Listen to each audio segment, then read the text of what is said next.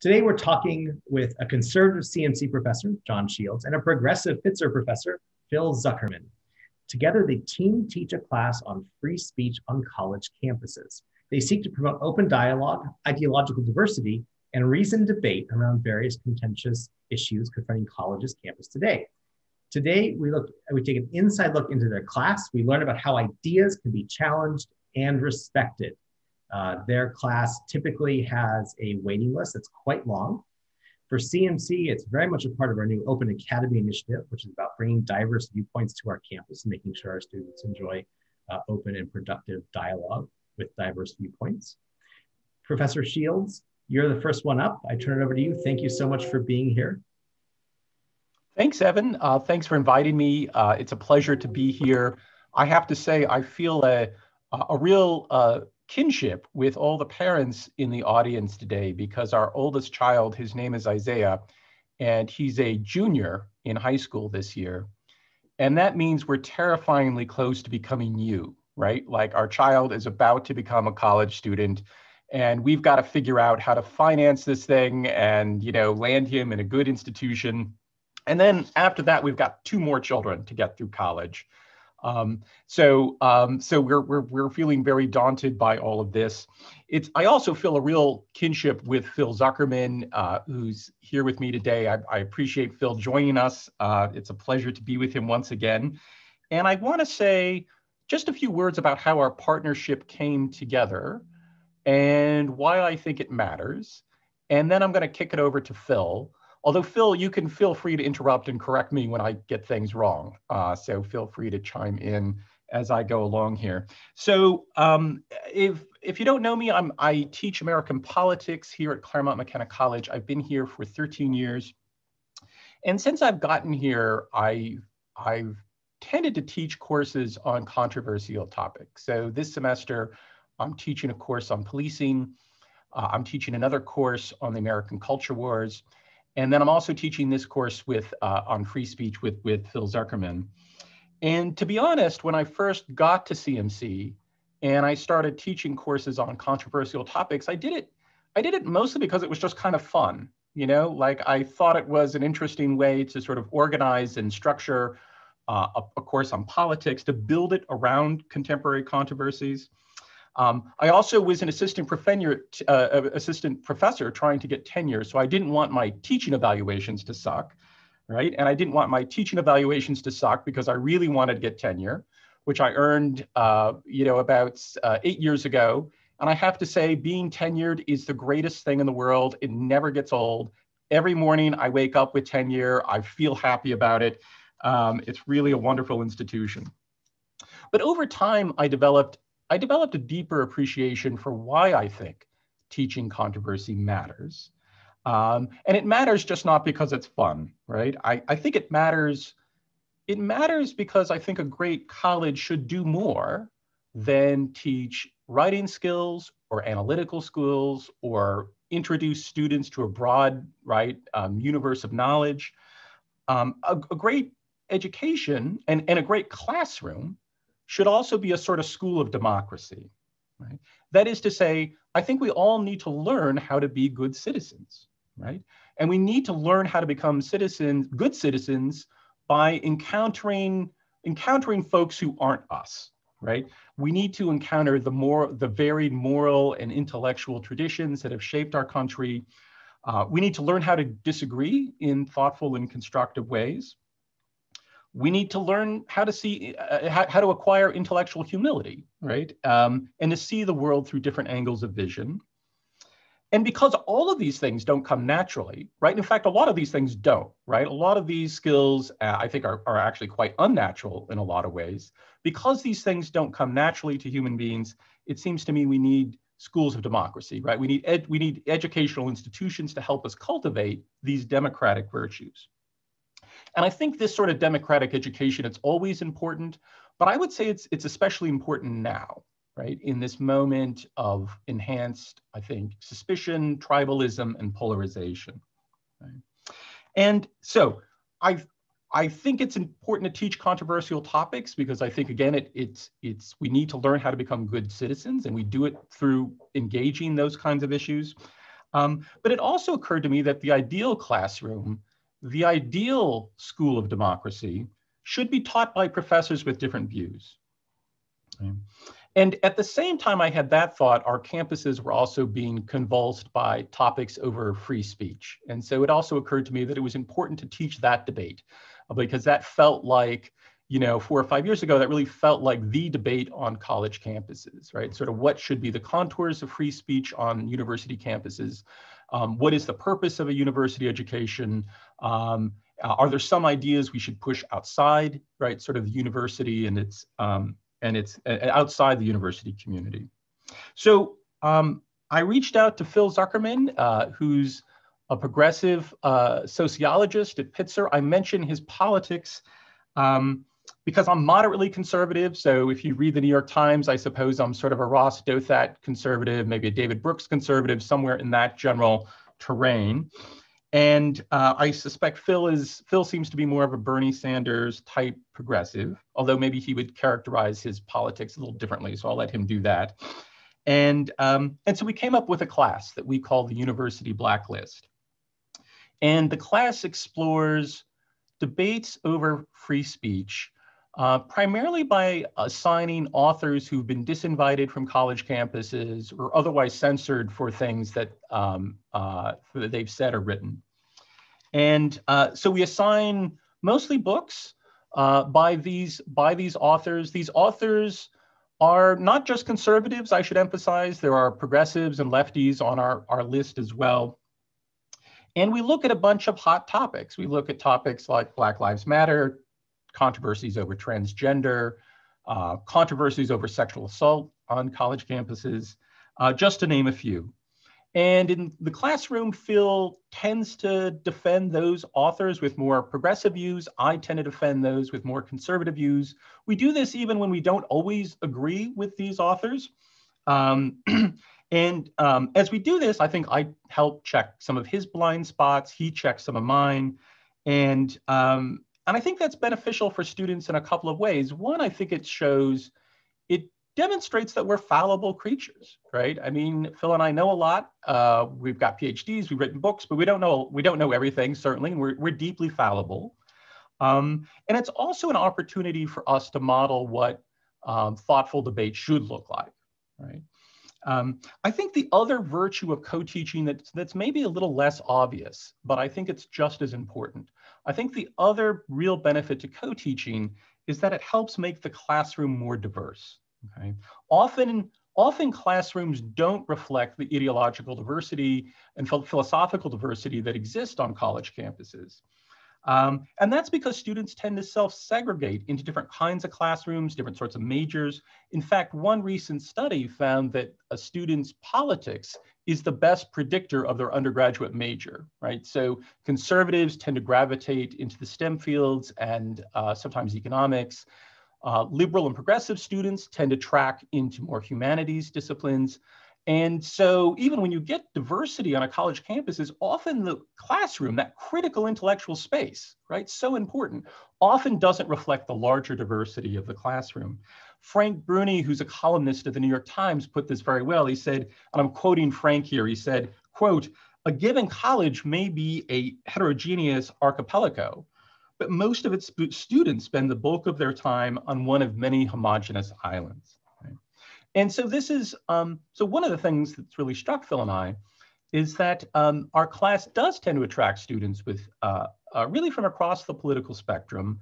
Uh, and our classes feel more politically and philosophically diverse than I think classes that we just solo teach on our own, right? And sometimes, and sometimes um, that's meant, that's, that's allowed for real friendships across real divides to, to happen in our classroom. I mean, when we first taught this class, we had our, our most liberal student and our most conservative student became fast friends. You know, they walked to class together, um, they walked home together, they, uh, they got to know each other, they talked a lot about, about politics, not just in our classroom, but outside of it as well. And that's really one of our hopes for the class, right? That it can create new communities of conversation, across political differences, across philosophical differences, and that these communities of conversation and friendship will endure long after they take our class. Okay, Um, that's, um, I want to pitch it over to Phil.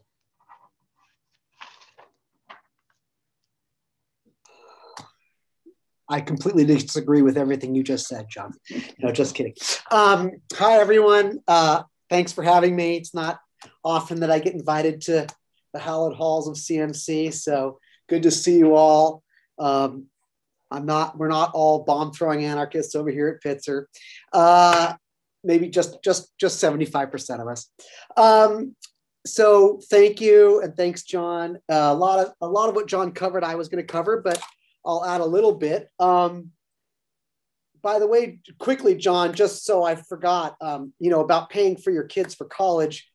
Simple. We just do what every other industrialized democracy does and make college tuition free. Uh, but sorry, don't mean to start that uh, ball rolling. Uh, my, uh, but I, having lived in Denmark for two years and seeing what uh, the kids um, there pay for college, which is nothing, they get paid to go. And, and my kids, my daughter just graduated from Macalester. Another one was attending art school in Seattle, but COVID threw a number on that. And my 15 year old is still in high school. But anyway, um, what I was gonna, oh, I'm also opposed to tenure, Jon. So I'm glad you wake up every time. See, this is one of those things where you think I'm a progressive, but I think tenure's bunk. Anyway, um, my name's Phil. I grew up in the uh, on the mean streets of Pacific Palisades in Southern California. It's near Santa Monica and Malibu. I uh, I've been here at Pitzer for 23 years. Uh, I uh, teach in sociology. I started a program in secular studies, and I'm currently working as associate dean. So I've got my plate full right now, um, but all is well. And I'm just great, so grateful that Jon reached out to me. It was his idea. He reached out. We met at Some Crust for coffee. We had lunch at Harvey Mudd. We got together, and it's it's really a highlight of my academic career. It's a highlight of what I do, and I'll just I'll give you some bullet points on on what I wh- why I think it's just such a great model. I think the biggie is having team teaching a class like this with Jon um, keeps me honest. And what I mean by that is you know, hey, I'm good at ranting. I'm a professor. I, I love to rant and and I get on my high horse. I carry it around with me wherever I go. And so, if I'm teaching a social class, let's say a classical sociology, I teach classes in social theory. I teach classes on religion and secularism. I teach classes, uh, you know, intro classes, race class, gender stuff. I mean, sociology is a very um, connected to contemporary issues. It's not. I'm not teaching medieval French literature. Not that there's anything wrong with that, but I am looking at crime and race and gender and sexuality and religion and you know politics, things that things that are on the front page of the news every day. And when I'm alone, look, I can get into a groove. I can get into a rant. I'm looking at a classroom full of bright-eyed, you know, 19-year-olds on average. Sometimes they're older, sometimes they're younger, and the um, ease with which one can unconsciously um, strawman the opponent, mischaracterize an issue. Again, I try not to, but I found with Jon there, he keeps me honest. In other words, I don't think I'm a dishonest person, but I know that everything I'm going to throw out there and everything I'm going to say and everything I'm going to uh, present to the students, Jon can either correct, counter, contextualize, suggest a different reading. So it makes me a better instructor. It makes me a better professor because I have Jon there to, you know, maybe keep me honest isn't the wrong word, but maybe sort of keep me clear thinking, keep me on point, and make sure I'm not over exaggerating, or I know that's redundant. The next is I want to return to that issue of straw manning. I think, you know, one of the worst things that we do, but we all, I think we all tend to do it, is if there's a contentious issue or there's opposition, um, we can present the other side in its worst light, right? We can caricature the other side. We can present the other side as um, mean spirited, awful, or as John Stuart Mill said, immoral, right? This is about the worst thing you can say about those who disagree with you. Um, but ideally, ideally, I think the, the, the goal should be that if we have disagreements, that we present our opposition in the best of lights and then proceed to explain why they're mistaken or wrong. In other words, don't present the worst case scenarios and the worst uh, loud mouths and the worst, you know, but actually try to present the best arguments from the other side and then show why we still might disagree. And this dynamic really forces that to occur more often than not. Uh, with Jon there, you know, I, I can't just get away with saying, you know, well, Rush Limbaugh said this and Fox News said that. So there you go, because he's he knows the the more sane uh, uh, uh and rational and reasonable um, um, right wing thinkers. I think he knows all all two of them. So he's able to bring their their names up a lot. And then um, the other thing is, oh yeah, we talked about.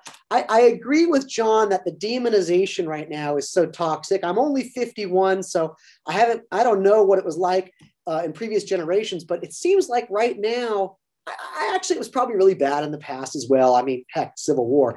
But I mean, right now, uh, and during the Vietnam War, I think there was a lot of polarization as well. But it just seems right now, you know, under Trump and whatnot, that there's just been this hatred of the other side and MAGA is evil or Black Lives Matter is evil or each side views the other as a threat to America, as a threat to democracy. And one side, you know, is, is uh, you know, a threat, a danger because they're going to bring, I don't know, communism to America. The other th- side is going to bring a, a fascist takeover, you know, and, and I do find that that a lot of these issues, whether it's transgenderism or Black Lives Matter or you know the stolen election, you know that that it's hard to see each other as fellow Americans, as fellow human beings, and and and that's what it is. It's a good faith exercise. We have to argue in good faith with each other. Um, I respect Jon tremendously. And so I have to constantly check myself and say, whoa, whoa, whoa, whoa, am I demonizing the conservative voices in our country? Look at Jon. He, he, he's a sort of I can't get away with that demonization. Or look at the other students. You know, at Pitzer College, one of the one of the the greatest things about working at Pitzer is also one of the worst things, and that is we're a young college. We were founded in the 60s on very 60s ideals, and we have these very explicit um, values of social justice, intercultural understanding, environmental uh, uh, um, friendliness, and progressive uh, and progress, um, you know, community engagement, which are wonderful, wonderful values that I'm so proud to be a part of. However, the downside is we tend to attract a pretty homogenous or ideologically homogenous group of students. You know, we tend to attract um, students who are left and progressive and care about the environment and care about racial injustice and uh, women's rights and gay rights and so on and so forth. So our classrooms tend to be really, really darn homogenous and what that what that means is um, I just don't get to meet a lot of students that think differently. And what I love is when, as Jon said, I might attract some progressive students, Jon may attract some conservative students. And so it's really wonderful for me to meet young, thoughtful, conservative students. There's some right now that are expanding my mind, turning me on to stuff I otherwise wouldn't know about or read. So it's wonderful. I'm almost done here. The other thing, two more points, is what I also like about this class is we probably left and right divides aren't so clear cut as you might think. And this comes up time and time again. I'll give you an example. Um, I consider myself very progressive, very left, uh, and yet I find myself often alone when it comes to the free speech issue. It seems like a lot of my colleagues and a lot of the students at Pitzer don't seem to understand or value free speech. And and I don't want to like trash talk Jon here, but I think I I may be more of a free speech fanatic and fundamentalist than Jon is. Uh, so often we're actually we twist that one around in terms of right and left. Um, the other thing is, you know, there's some issues like uh, transgender issues that I may not perfectly align with others on the left. So I enjoy this class because it, it gets me to see that you know these these designations are are hard, but they're not steel hard. There, there are areas where we maybe don't fit in so nice and neatly, neatly to these left right uh, boxes. And I think that's really important.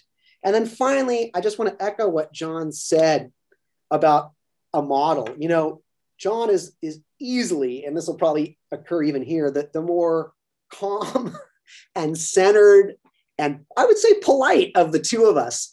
And I appreciate that.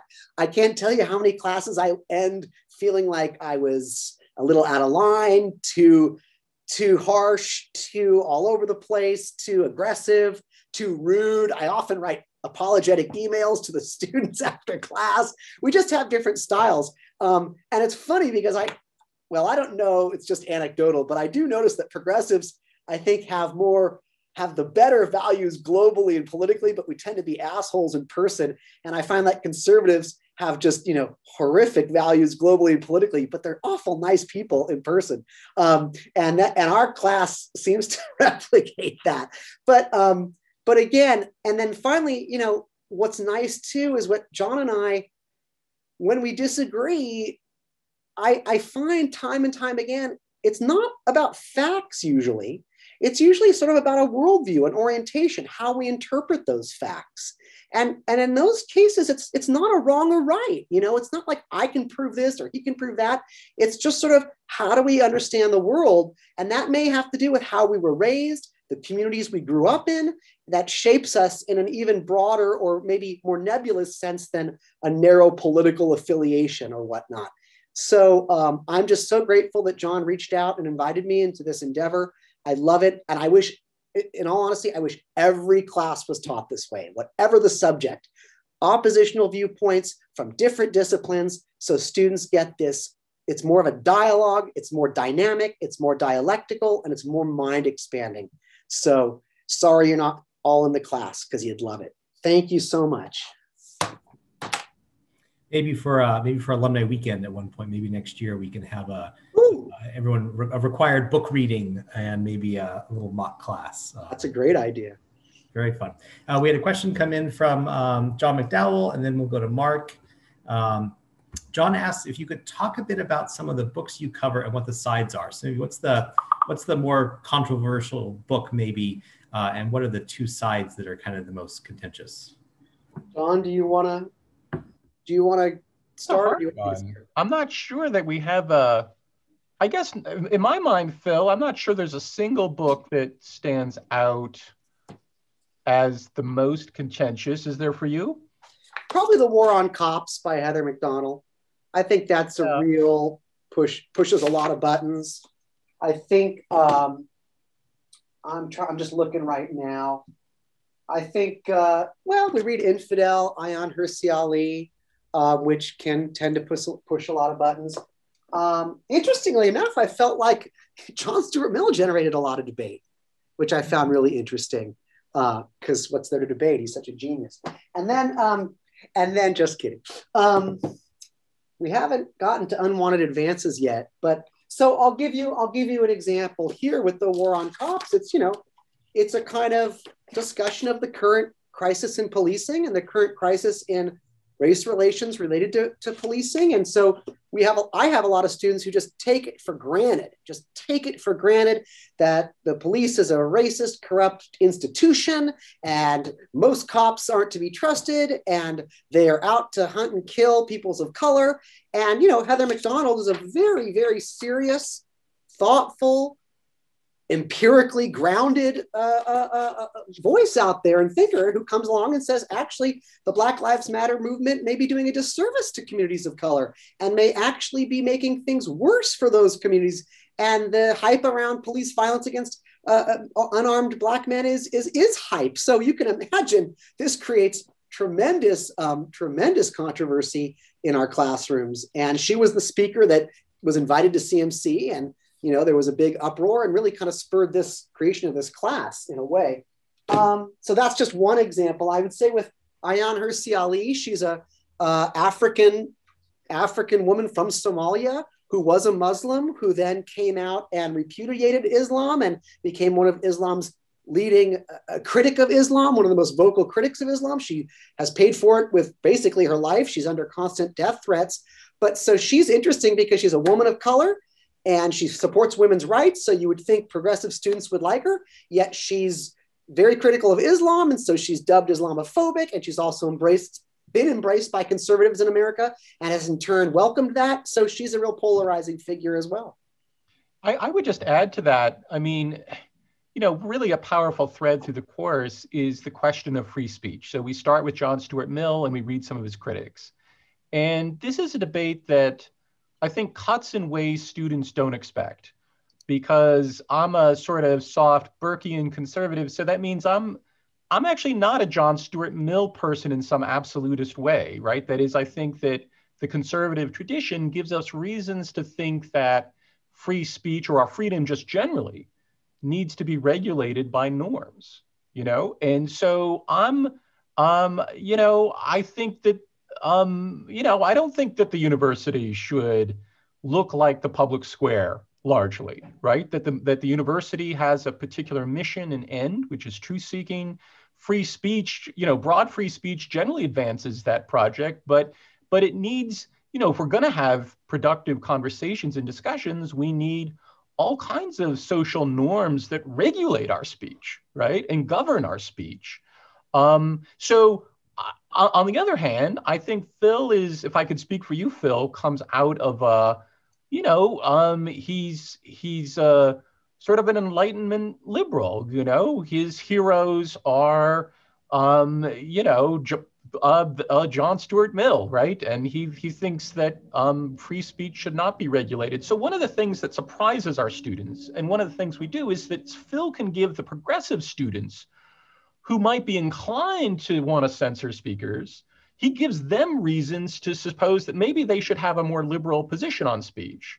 And I give my more conservative students uh, a sense that there might be conservative reasons to think that speech should be regulated and limited in some ways. So I think that's one of the interesting things that's come out in this class and in our conversations. And I think it's a, a kind of healthy and, and, and interesting thing we, we, we, um, we do with students. As a quick follow up to that before we, we jump over to Mark, um, how do students, you know, you, you enter as a liberal student or conservative student, really from either campus. Do you find that students are still arguing um, uh, or discussing the vantage point that they, they came in with, or do you see them changing their mind? Do you see them arguing uh, the other side? How, how do you see that interaction happening in the classroom?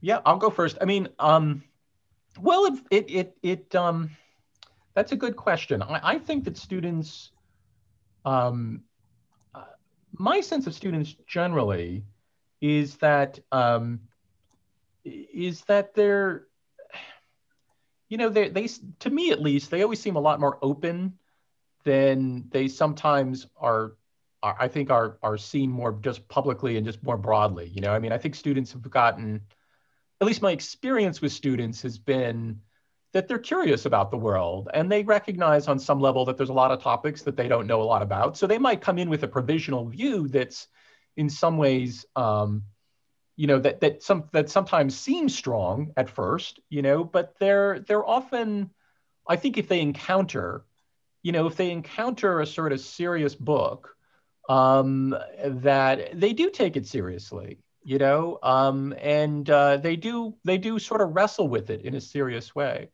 Every great once in a while i don't know what phil's experience is but every great once in a while i'll i'll, I'll, have a student that i just think is uneducatable on some level right? Like they just like like i've got nothing to offer them and i don't think my colleagues have anything to offer them because they've just made up their mind about everything you know?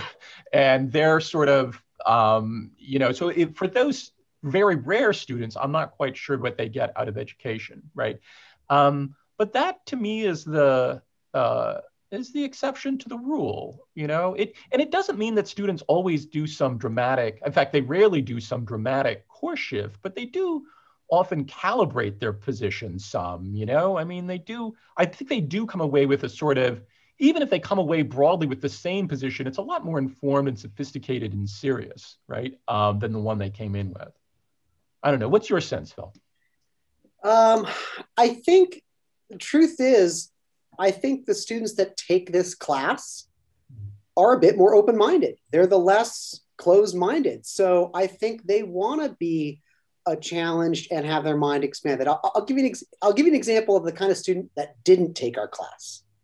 Okay, so this is a, an email I received uh, back in the fall uh, from a student of mine, an advisee of mine, uh, who says, Hi again, Phil. As I am seriously considering trying to enroll in the university blacklist, I have some reservations and was wondering if you could give me your opinion.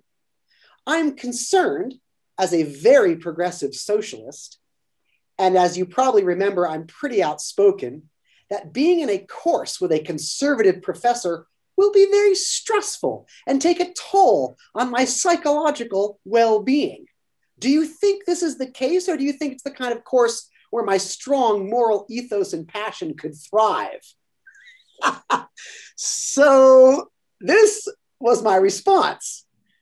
Well, blank, I personally subscribe to the venerable adage put forth by Robert Frost quote, education is the ability to listen to almost anything without losing your temper or your self confidence. Unquote. If being in a class with a conservative professor and hearing his point of view is likely to be very stressful for you and possibly take a psychological toll on your well being, perhaps the class is not for you. Best Phil. Of course, it's not what I wanted to say was, are you fucking kidding me? But I, sorry, I tried not to get through this without swearing. Um, I tried to get through this but you know, that was the best I could muster. And of course, she didn't take the class. He or she didn't take the class. So there's an example of that kind of person who is, is so close-minded and so narrow. And I got a few others. And then we even had somebody who who was in the class this semester and then saw the topics, right? So these are the topics. This is how we've done it. We do it by topic. So topic one is kind of, you know, the case for free speech, where we set up some of the theoretical groundwork. And then we go to freedom and censorship in campus today, where we look at some actual uh, on the ground situations, provocateurs. Next comes Islam. Next comes Black Lives Matter. Next comes critical theory. Next comes colonialism, sexual assault, and transgender. These are the themes of the topics. And we had a student who took the class and after the first week said, Well, I'm so offended by this syllabus because these things are not up for debate. You know, Black lives do matter, so I'm dropping the class. And I, you know, I wrote back. I said, it's not that these topics are up for the debate. These are the themes that we're going to be exploring. But so this is a long way of me saying I think the students that we get do change their minds, do have their framing challenged, but that's also because I think they want that. They're they're, they're more open minded, and the ones that are so narrow on either the left or right probably just don't bother with us. Thank you, Mark Schwartz. If you'd like to unmute and ask your question. Thank you, Evan. And it's a great follow up um, to your uh, last question. Clearly, whoever uh, thought of that question has had the benefit of the finest undergraduate education available in North America. Um, so um, my my uh, question, uh, sorry, Phil. Um, my question is about um, uh, pedagogical uh, techniques and um, you know critical thinking skills um, and to some extent um, i'm influenced uh, largely here by the last um, commencement speaker uh, virtually um, uh, actually i'm sorry in person um, arthur brooks who's uh, one of his most famous is love your uh, enemy um, and how um, I've tried to incorporate that. My, my question is um, from an intellectual uh, perspective and a, a, teaching perspective, have you uh, guys ever thought about reversing roles? And um, Phil uh, teach uh, from a conservative perspective, and Jon uh, teach uh, from, I think you call it progressive perspective. Um, and then actually uh, transfer that uh, process to the students. So um, the, the, progressives have to take, um, you know, the opposite sides and, and, and vice versa. And, and, you know, that might very well, um, you know, not change their mind, but equip them uh, to deal with uh, difficult situations in the future. Yeah, it's a good it's a good suggestion, Mark. Do you want uh, Phil, do you want me to go first or do you want to? I'll just say I love it. I'm all for it. And I think we yeah. need to have a second, like a, a, a B, you know, like a higher level class uh, where we do that. Yeah, Mark, I think it's I think it is a good suggestion. We've done it sort of in a soft way. I mean, in their essays, you know, they're supposed to make an argument for and against uh, the books that they're reading. Um, and uh, Phil and I haven't um, role swapped. I think it's a, it's, a, it's an interesting suggestion. Let me just say a quick word about friendship, though. I think that is interesting. I mean, and, and you mentioned Arthur Brooks and the importance of love and friendship. I mean, one of the things that's possible in a small liberal arts college is real friendships, right? And that's why I I I, ended with uh, my comments by noting that friendship. And one of the things we really tried to do, um, we can't we haven't been able to do it this semester because we're all online. But the two prior times we taught the course, we took students out to dinners in the village, and we wanted there to be space, and opportunity for students to really um, really become friends, right? Really to see one another really as three-dimensional people and and develop some affection for one another, right? And um, and I think that's really important anytime you're in a class, uh, in anytime you're teaching controversial topics, right? Like if you actually like someone, um, it's a lot easier. We're all inclined to actually lean toward them and try to, even if we disagree with them, we're more inclined to try to take them seriously and so, um, so I think again, that's that's the advantage of teaching at a small college, and I think we try to leverage that as much as we can. And one of the things we're really looking forward to when we get back next year is to bring that part of the part of the class back back in. You know, I think we really have missed it this semester. Can can I just make a, a follow up? Um, you know, uh, listening to Arthur Brooks every two weeks, uh, as as I religiously do, even though I'm Jewish and he's Catholic, um, you know, I've thought a lot about um, love your enemies in a CMC context, and um, I, I, just want to share this. So, um, at the last in-person alumni weekend, um, one of the people um, who was a guest is someone that you know my initial reaction to them is reprehensible. You know I, I i cannot stand what they stand for. And what arthur brooks has taught me to do is in my own mind play a game of what would i say um, to that person in the context of love your enemies. And um, what i came up with is um, a, a line that you really need me because you have no other perspective on what the other side is thinking. And, um, you know, from my days at CMC, Machiavelli teaches us to keep your friends close and your enemies closer. And so to understand what your other side is thinking makes you better able to respond. And so your class provides great training for lawyers and problem solvers and and people who are going to do good. And i think you know making people reverse roles of good cop bad cop and then bad cop good cop and who's who really is a great negotiating strategy. Mm-hmm. yeah I, I, think it's i think it's a point well taken. I mean um, and it's an interesting point too mark that you're making about um, about loving one, one's enemies, right? I mean, it suggests that there's, it's not just, you don't just have to summon some, you know, um, to love one's enemies, you don't merely need to be, you know, um, to summon some kind of extraordinary grace, to use a Christian term, right? Like you can, you have a sort of self-interest in it too, right? like you, you need them. And I think that's, um, and it's actually at a point that you see in John Stuart Mill as well. And it's, um, it's well made. Great. Uh, question in the chat, and then we'll go to Laura. Um, what is a conservative idea that you have more sympathy for now, Professor Zuckerman? And for Professor Shields, a liberal idea. So is there something that really has changed in you through these this class? Oh man, that's a tough one. Maybe we should switch do switch sides now, like that, like uh, Mark suggested. Um, well, I guess what I would say is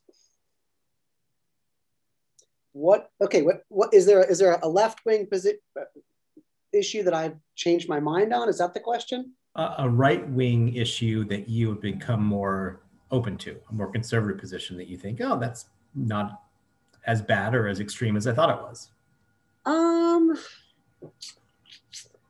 I think a couple. I think I am more I do think that there are good faith reasons to abo- oppose abortion. So I am very much pro abortion. I am very much for women controlling their own reproductive rights and controlling what happens in their own bodies. but I do believe one can oppose abortion for for reasonable reasons and not unreasonable reasons. Uh, and that's come through Jon and some of the other students and some of the readings we've gotten.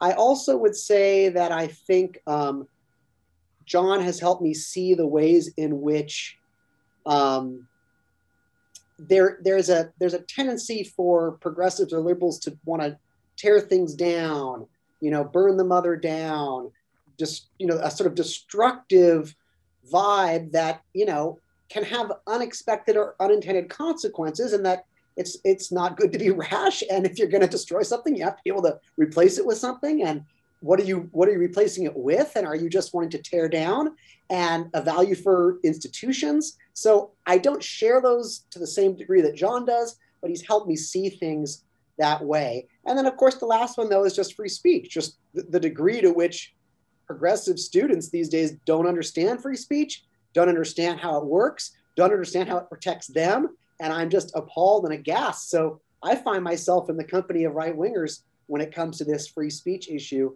Uh, so I would say that's off the top of my head. After this call, I'll great. several others. Jon, what do you think? Yeah, I think one of the things that Phil has pressed me on is is both the healthcare issue and uh, to some degree the gun issue. I mean, I think both are issues that, you know, I, I mean, it's I, I I've I've come around to the view that it's not obvious to me, you know, why um, why healthcare should necessarily be different from education, for example, right? Like if it's a it's a public good, um, it's not it's um, I, I think there's a sort of case there that, and Phil, I think, has been good at pressing sort of the the, the unfairness of our, our healthcare system, and I think that's, you know, it's one of those issues that I I never, you know, I didn't I, I didn't have a particularly hard view on, but I had a sort of provisional one that was sort of consistent with my own team, broadly speaking. But it's not one I'd sort of given the I think Phil's forced me to think about it. Um, I think more than I otherwise would have if he had not been for his, you know, him pressing me on it. And I would sort of say something similar with guns. I mean, it's not clear. Guns are something that, um, you know, I'm, I'm, and I, I would say broadly the, also the war on drugs. I mean, I, I, I think both of those issues. Um, I think over time, especially the war on drugs. I mean, I, I am not sure.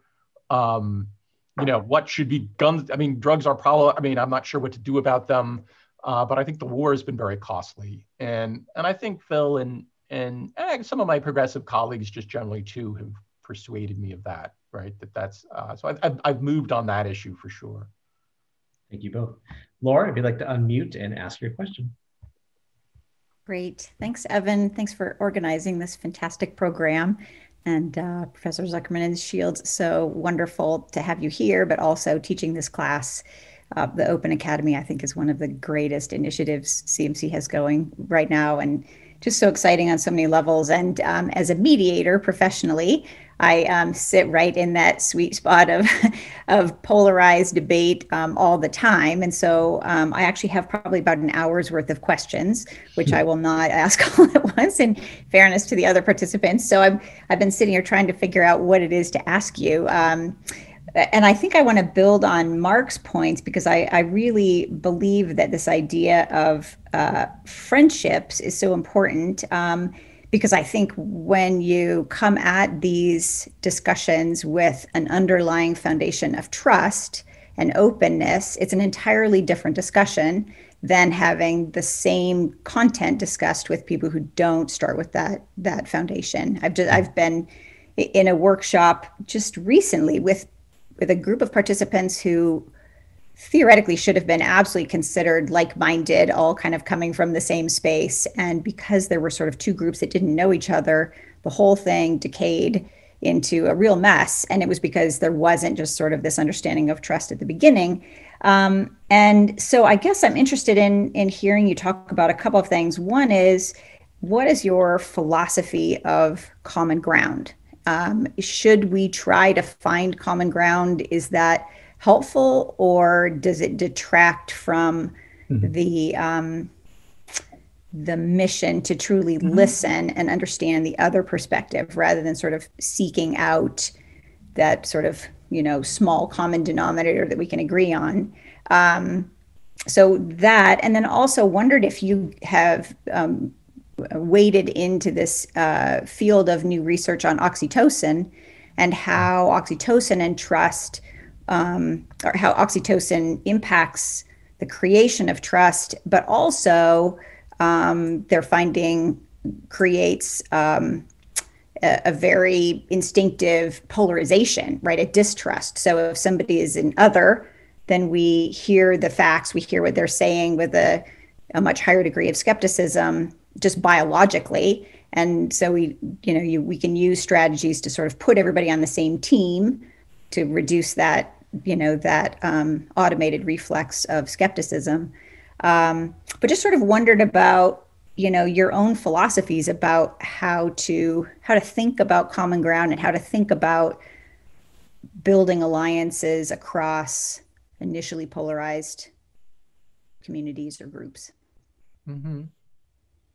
that's a hard one uh, that's a great question um, uh, phil you want to field it first or do you want me to go i i'll just say that it's not my area of expertise um, it's getting to be now that I'm working as an administrator. Obviously, I have to develop those skills a bit more. I, I, I, guess the two things I would say is I have read a little bit, a lot about oxytocin uh, when I was writing a book on morality, and I read there's a guy at CGU actually who's a big name in that research area. He's published, I think he published the love, the love hormone or whatever it was called. So yeah, I'm a big fan of it. I like petting my dog's head and feeling it. Um, but it, but I does it, that, that's as far as I go. I've just read about it. Um, in terms of the common ground issue, obviously, I think um, it's great to to start with. All right, well, where, where can we agree? What, what, what let's establish some things that we both agree on, and um, you know, and then go from there. And but I will say, it, I am horrible at doing it. I mean, in real life, I'm just I throw out insults. I'm caustic. I'm sarcastic. I'm sardonic. I'm disrespectful. So I'm not the best at it, but I would like to be mindful of it. But, but I think what Jon has said is really true in terms of now we're online, but when we are in person and we have those dinners and we sit in a circle and the class is on a Friday afternoon, a, a, a spirit of goodwill is just there. It just, and it grows and it certainly helps us um, disagree with each other in a more polite and open-minded way. But but that's about it I could say at this point. Jon, what do you think? Yeah, I mean it's it's it's something I'm going to have to I mean it's it's I'll, I'll I'm going to continue to to digest it Laura. So but I so I'll give you my knee jerk response which is which is is what it is. I mean um yeah, um I mean I'm not I mean, partly when you say common ground, you know, like, I mean, I want them to have a sort of, I do want us to cultivate a certain kind of common ground. Like, I want us to have a common sense of, you know, how we should engage one another, right? And and be a community of a, a truth-seeking community that seems to me should be bound together by certain kinds of norms of mutual respect and openness, et cetera. Um, I don't get to the end of the class and count and try to you know, I mean, I mean, if, if we get to the end of the class and, you know, uh, it's it's it, I mean, I'm I'm not concerned if students, uh, you know, are still more or less where they were politically and philosophically at the beginning of the class. My hope is just that they're, um, I guess, and this is just how I see education generally, that education is is is always about sort of opening students up a little bit, right? Sort of uh, uh, sort of opening them to other sorts of ways of seeing the world, planting sort of intellectual seeds that might um, might sprout later on. I mean, when I think about how I changed my mind in my own life, you know, it was never, it was rarely in the course of just reading a book or even in a, in a single class. You know, it was something it, it was something much more gradual and slow and and um, so you know I I guess I, I guess that's how I imagine human psychology works normally, right? And how education should work. Um, but having said all that, Laura, I mean, it's a good, it's a damn good question, right? I, I need to think about this a little bit more, and um, and uh, it's something Phil and I should talk more about, uh, right? Um, so, I ask because I found myself recently uh, in this situation I referred to, and I could feel myself mm-hmm. desperately trying to find common ground to sort of settle things, and mm. and realize that in doing so, I was silencing and not allowing certain people to really say what they needed to say to adjust the process. And, you mm-hmm. know, I think consensus building has its place, but then other there are other times when seeking that common ground actually curtails great mm-hmm. discussion. So um, mm-hmm. it'd be it'd be fascinating, and I'd I'd love to be a fly on the wall for your classes. I just think it's it's so wonderful. Anyway, I'll be I'll be quiet. Thank you so no, much. Thank you, Laura. Um, Thanks, Laura.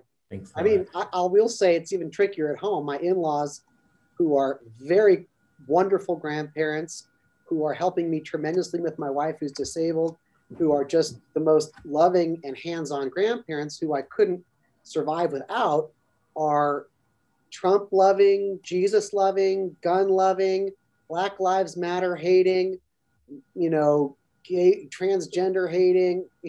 so I got to really navigate that shit because, man, we we are very close as a family, and I love them dearly. But they say things that you know mortify my kids. Uh, actually, not just mortify my kids, but my kids actually get very distraught and distressed when they leave, and they say, "I can't believe Grandma said this. I can't believe Grandpa said that. Do they really think this?" And I have to put. I find myself in the position of having to defend these statements that I find are heinous, but but it's their grandparents. So what do you do? You know, it's tricky. To turn over to Terry Gibbs from uh, Minnesota. Terry. Great, thanks.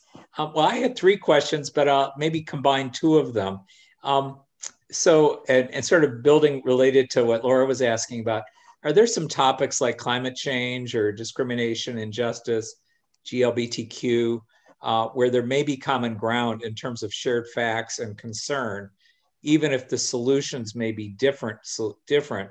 And for those areas that are tricky and challenging, especially where neither side agrees on the facts, I'm curious how you move forward. And then a little bit related to that, maybe it's too specific an example. How do the conservative students feel about what occurred January 6th and the continuing large scale support for Trump and the threat he poses to primary Republicans that don't toe his line. And then I'm curious, how do the progressive students respond when they hear that? And the reason I ask is that, you know, Biden and those of us trying to find common ground are extremely frustrated about how locked in things are uh, for so many Republicans. It's like their political career is on the line. So I'm just curious how that discussion, the politics of that go, that reality that we have to confront. Yeah. Um, well, maybe I'll go first, Phil. Um, I mean, the well, the first question you asked, Terry, is about sort of what, if I understand it right, you're asking what do we what what do we do when students disagree on the social facts? That I yeah. hear? Yeah. Or or you know, how does it go once they've agreed on mm-hmm. facts I assume they just have different solutions. Um, but how often does that even happen that they can agree? Um, but when it, they don't agree, then how do you move forward?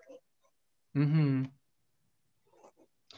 Well, I mean, I, I mean, I, I don't see it as our.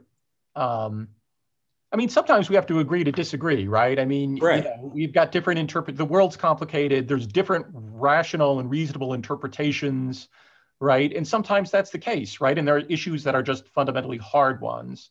And I don't think we try to, you know, um, um, it, it doesn't bother me if students, you know, end up with just different points of view that are that are rational and reasonable, so long as they have some sense of what counter views look like, right? I mean, right. like like that's that's really what I want them to be. So when I get a student in any of my classes and if they've got strong political views, my my aim as a teacher, in my view, is to just make them more thoughtful, right? Like I want to make them more thoughtful conservatives or progressives, um, you know. And if I can do that well, I've, I feel like I've done um, a, a, a, good job, right? Um, the the second point you're making about the capital invasion was it a, just so I understand Terry the, the question was it a question narrowly about sort of conservative students and how they're you know what, how they're making sense of those riots and and what's happened to the GOP?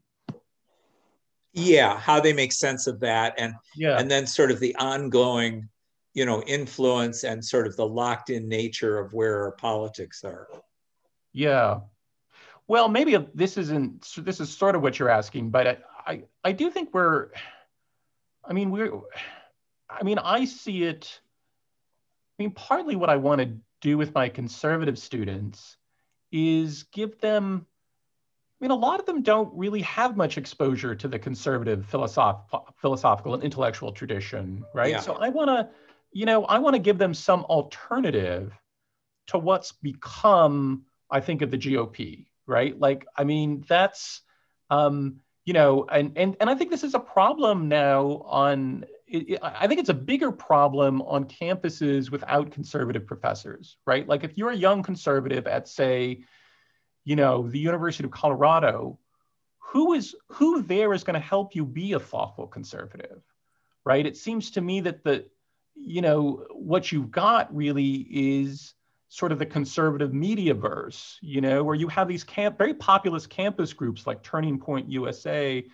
Um, and so, and actually that's relevant to our class because a lot of the, a lot of the speakers who get into hot water are sometimes these very, are, are really those conservative bomb throwers, right? And I think one reason you get a lot of conservative bomb throwers, particularly on these big public universities, is there aren't there aren't conservative professors there to guide them in some way and say, hey, look, here are some more interesting, deeper conservative intellectuals, thinkers that uh, that you could be inviting, right? Instead of Milo or whoever it is, right? So, um, so I, I, think most conservatives on our campus these days are, um, uh, you know, I think they're in a sort of funny place because they're they feel they're feeling alienated from the Republican Party um, and um, and but also they they know they're not Democrats. They don't they're not progressives, and so um, I mean that's not universally true. I mean we do get some Trump supporters here and there,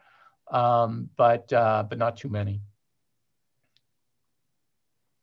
Well, Phil, what do you, you think? Oh, oh, sorry. No, go ahead.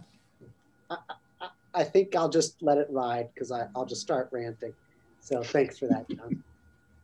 Well, thank you both so very much, and thanks to all of you for um, spending the time with us. We have one final question that came from um, from one of our parents who thought this program was uh, spectacular for the for the students. So on the way out, one last question: How can we do more of these for our students? More team taught courses, more courses that that show a lot of ideological diversity uh, with differing viewpoints. How can we make this happen to a greater degree?